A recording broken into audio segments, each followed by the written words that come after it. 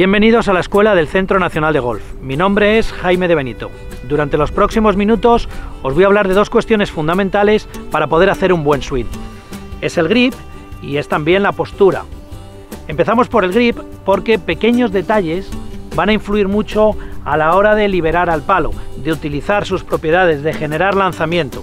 Vamos a ir viendo juntos esos detalles. Con frecuencia nos encontramos con alumnos que cogen el palo demasiado con la palma y ese es el primer error. Necesitamos que el agarre sea mucho más con los dedos. Fijaos cómo vamos a hacer que el palo se coloque desde la base del dedo meñique en diagonal hacia la última falange del dedo índice. Esta es la forma correcta de coger el palo. Envuelvo, cierro la mano y veis cómo el pulgar se queda un poco a la derecha. Fijaos, podéis hacer esto, podéis dejar que esta almohadillita esté elevada por encima y que el dedo índice esté por debajo. Esta es la forma correcta de coger el palo. Si no, lo estaréis haciendo con la palma. Aquí tenéis un buen test para probar. A partir de aquí, acerco el palo al medio y hago el agarre de mano derecha. Fijaos cómo en el meñique lo coloco entre los dos últimos dedos, los tres a la varilla y la palma de la mano derecha envuelve el pulgar.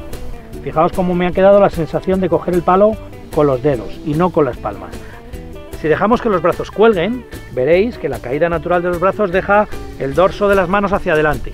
Bien, vamos a utilizar esa caída natural para coger el palo con los dedos. Fijaos que mi mano no cambia, cae de forma natural y cojo con los dedos.